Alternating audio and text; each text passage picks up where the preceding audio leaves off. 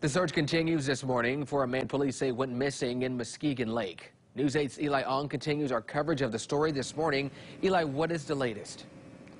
Donovan, authorities were unable to find his body yesterday.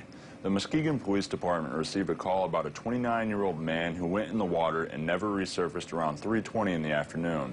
The search took place near the sand docks at the lake, and several other agencies took part in the search, including the DNR, Muskegon County Sheriff's Office, Norton Shores Fire Department, and the Coast Guard.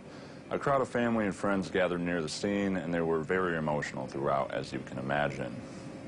We'll have updates on today's search as they develop on air and online. Reporting live in the newsroom, Eli Ong, News 8.